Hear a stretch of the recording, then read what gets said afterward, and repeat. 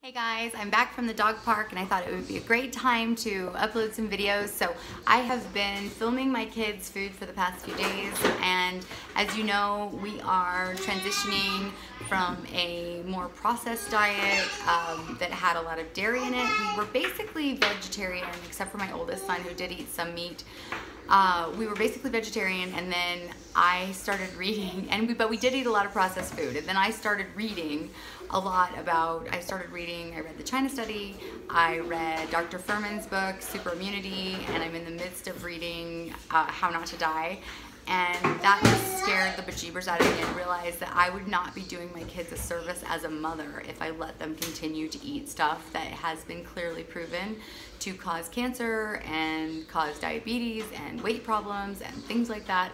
So we have been transitioning slowly but surely and here is what my kids have been eating for the past couple days. So today my kids are having a veggie burger for lunch. This is not a completely vegan burger. It actually has um, some eggs in it. But like I said, we are transitioning kind of just away from the really hardcore dairy. The blueberries, which apparently have been violently poured, and uh, did you? Are you responsible for violently pouring? No, he is. and um, and so, so, here's a prettier plate, and apparently These cucumbers cucumber. for some reason on yeah, here. There's and then for the burgers we have cucumbers. We only have a few onions because I'm really the only one that likes them, and tomatoes. And I've already stolen from this so I could weigh them for myself. We have vegetables. Um, it's once again the Normandy, the organic Normandy mix mixed with a little bit of olive oil, some salt, pepper, garlic, and Italian seasoning. And then we have our little um, our little plate of veggies. Just keep in mind that these used to be prettier, but people snack throughout the throughout the process of making so lunch. Tonight my kids are having a vegetable pizza. So it's a pre-made crust that I already had in the pantry and needed to be used by January 28th. So I decided tonight was a good night. And it has just a bunch of uh, vegetables that I pre-cooked on the stove with some oregano and some nutritional yeast and some garlic, a little bit of salt, and then I put some just uh, some pizza sauce over on the top and put all the vegetables and then sprinkled the top with nutritional yeast. So it may or may not go over that well. So we will see. Just as a side note, if you watched my other video and you saw the uh, stuffing stuffed squash, that was not a hit at all. I had one that liked the filling a lot, but most of them were completely freaked out by the squash. So we'll see how this okay, goes. Since it's the weekend, my kids are all having different things because we all got up at different times. My oldest son is trying our new granola, and he also put a ton of blueberries on there, which is super awesome. And also, we have sliced apples. Like I said, sliced apples are one of my kids' absolute favorite things. So, and you can see hands coming from all directions.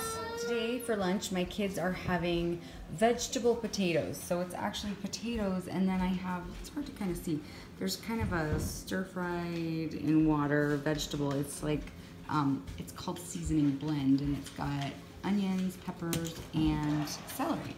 And a garden patty for some. Some of them chose to not have that. They just wanted the potatoes and the carrots and the apples. And so, and then carrots, apples, and then their vitamins and they're they're having an airborne today because I'm a little worried that the sickness is coming back. Okay, tonight my family is having a veggie burger on a white bun. So this is once again, they don't know these are about to disappear. Brussels sprouts that are um, just kind of cooked up in what's called Caribbean barbecue.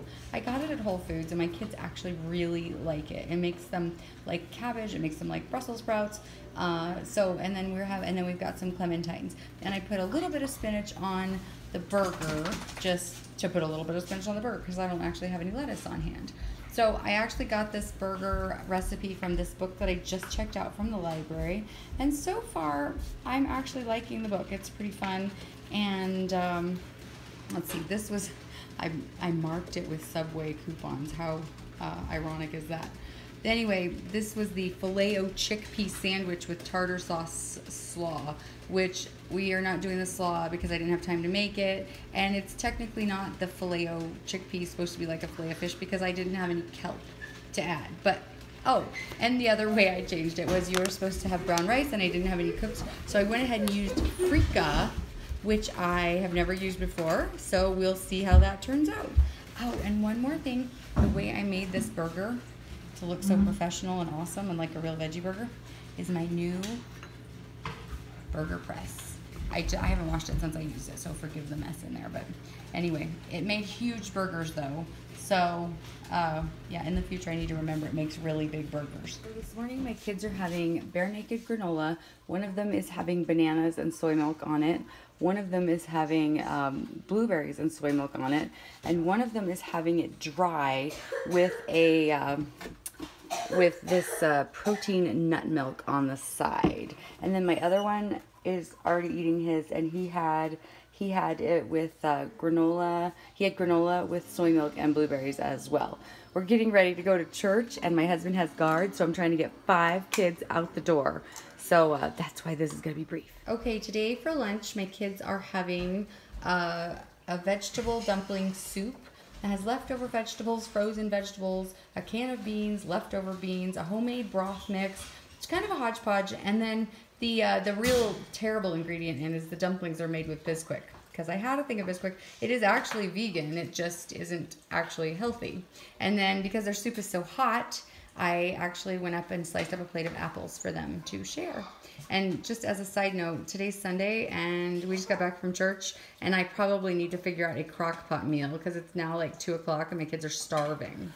So we got a new spiralizer and it was actually so that we could make um, so that we could make pasta like out of zucchini But and no, we're and we could make cauliflower. and we could make beet chips and stuff like that. But the kids were so excited about it that we are going Making to cauliflower. we're making Arby's curly curly fries fries. tonight. So we're using our own spices and our own potatoes, and we are making curly fries. And well done, we make little mushroom. Oh yeah, is that the core of the potato? Yes. Yes, that's very cool. So tonight, my kids are having, and when I say my kids, I mean my kids and my husband are having a homemade veggie burger on a little slider bun. So here's the, that's what it looks like. And I actually got it out of the My Family Would Never Eat Vegan cookbook.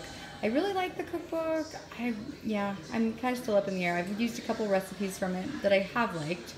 Uh, so I'll give the so the, the jury's still out on that. And also we made these little curly fries. My son made the spice mix, so it would be like Arby's curly fries.